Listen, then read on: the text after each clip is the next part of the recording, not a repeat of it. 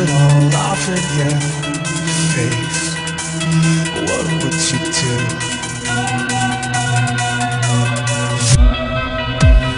What if I fell to the floor? Couldn't take this anymore What would you do? This is the one